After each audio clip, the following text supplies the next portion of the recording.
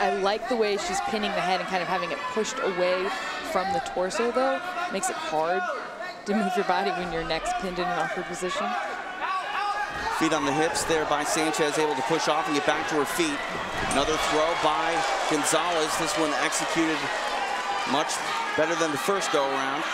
And Pearl Gonzalez has excellent jiu-jitsu and excellent throws.